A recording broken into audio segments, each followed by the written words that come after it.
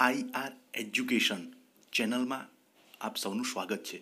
જો આપ ચેનલમાં નવા હોય, તો આ ચેનલને લાઇક કરો સબસ્ક્રાઈબ કરો અને શેર કરો. અને બેલ આઇકોન પર ક્લિક કરો કે જેથી કરીને હવે પછીના વિડીયોના નોટિફિકેશન આપને મળતા રહે. મિત્રો, આગળના વિડીયોમાં આપણે આર્ટિકલ એ વિશે જોયું હતું. આજે આપણે આર્ટિકલ એનના ઉપયોગ વિશે શીખીશું. ફરીથી આપણે આલ્ફાબેટ, ઇંગ્લિશ આલ્ફાબેટમાં વોવેલ્સ અને કોન્સોનન્ટ રિવાઇઝ કરી લઈએ. ઇંગ્લિશ આલ્ફાબેટમાં પાંચ વોવેલ્સ એટલે કે સ્વર છે, એ, ઈ, આઈ, ઓ, યુ. જ્યારે બાકીના એકવીસ આલ્ફાબેટ એ વ્યંજન છે. જેમ કે B, C, D, F, G, H, J, K, L, M, N, P, Q, R, S, T, V, W, X, Y, Z. આ જે છે એ વ્યંજન છે, ઓકે? તો આર્ટિકલ શીખવા માટે આ વસ્તુ આપણે જાણવી ખૂબ જ અગત્યની છે અને આના આધારે જ આપણે આર્ટિકલ એ અને એનની ખાલી જગ્યા પૂરી શકીએ છે.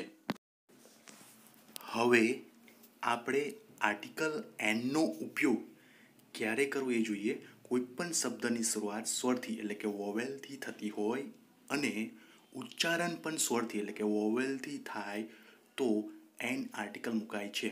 એક્ઝામ્પલ તરીકે જોઈએ તો પેલું છે, રોહન હેઝ એન એપલ આમાં એપલમાં એ એ સ્વર છે, એનું ઉચ્ચારણ પણ એથી થાય છે, સ્વરથી થાય છે, એટલા માટે એન આર્ટિકલ આવે.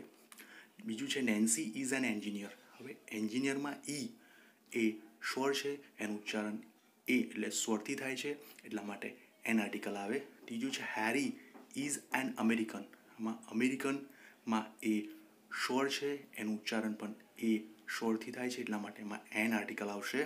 ચોથું છે ઇટ ઇઝ એન એલિફન્ટ એલિફન્ટમાં ઈ સ્વર છે અને એનું ઉચ્ચારણ સ્વરથી થાય છે. એટલા માટે એમાં એન આર્ટિકલ આવે છે. એટલે મિત્રો, જ્યારે શબ્દની સ્વાર શરૂઆત સ્વરથી થાય અને એનું ઉચ્ચારણ પણ સ્વરથી થાય, ત્યારે આપણે એન આર્ટિકલ મૂકીએ છે બીજો નિયમ છે કોઈપણ શબ્દની શરૂઆત વ્યંજન એચથી થતી હોય, પરંતુ એચ સાયલેન્ટ હોય, એટલે કે એચનું ઉચ્ચારણ ન થતું હોય, અને પછીનો લેટરનું ઉચ્ચારણ સ્વરથી થાય, તો એન આર્ટિકલ મુકાય છે. ઉદાહરણ તરીકે જોઈએ તો, પેલું વાક્ય છે, Chirag is an honest boy. આમાં ઓનેસ્ટમાં એચથી સ્પેલિંગ લખાય છે, પરંતુ અહીંયા એચ સાયલન્ટ રહે છે અને ઓથી ઉચ્ચાર થાય છે, એટલે સ્વરથી ઉચ્ચારણ થાય છે, એટલા માટે એમાં એન આર્ટિકલ આવે. બીજું વાક્ય જોઈએ.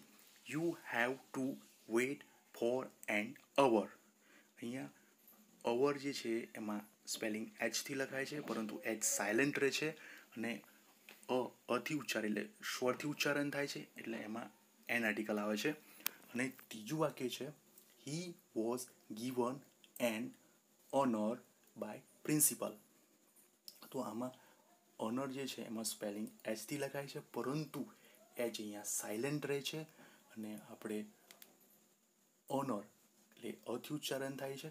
એટલા માટે અહીંયા સ્વરથી ઉચ્ચારણ થતું છે, એટલા માટે અહીંયા આગળ ખાલી જગ્યામાં એન આર્ટિકલ મૂકવામાં આવે છે. એટલે અહીંયા એવું કહેવા માંગે છે કે જ્યારે વ્યંજન એટલે એચથી શરૂ થતું હોય પરંતુ એચ સાયલન્ટ હોય અને પછીના લેટરનું ઉચ્ચારણ સ્વરથી થાય, ત્યારે એ ખાલી જગ્યામાં આપણે એન આર્ટિકલ મૂકીએ છીએ. અહીંયા ઉચ્ચારણના આધારે આપણે આર્ટિકલ મૂકીએ છીએ અને એના કારણે જ એ અને એન અનિશ્ચિત આર્ટિકલ પણ આપણે કહીએ છે કારણ કે આમાં આટલો તફાવત એમાં જોવા મળે છે. હવે આપણે બીજો નિયમ જોઈએ. કોઈપણ શબ્દની શરૂઆત વ્યંજન એટલે કે કોન્સનન્ટથી થતી હોય, પરંતુ તેનું ઉચ્ચારણ સ્વર એટલે કે વોવેલથી થતું હોય, ત્યારે આર્ટિકલ એન મૂકવામાં આવે છે. ઉદાહરણ તરીકે જોઈએ તો સી ઇઝ એન એમએસસી હવે આમાં એમ એ કોન્સોનન્ટ એટલે કે વ્યંજન છે, પરંતુ એનું ઉચ્ચારણ એથી થાય છે. એ એમ એ બોલીએ તો એ ઉચ્ચારણ થાય છે, એટલા માટે એ સ્વરનું ઉચ્ચારણ થાય છે, એટલા માટે એમાં એન આવશે. બીજું છે જય ઇઝ એન એસએસસી હવે એસએસસીમાં એસ લખાય છે, એ કોન્સોનન્ટ છે, વ્યંજન છે, પરંતુ એનું ઉચ્ચારણ એ થી થાય છે અને એ એ સ્વરનું ઉચ્ચારણ છે, એટલા માટે એમાં એન આર્ટિકલ આવશે.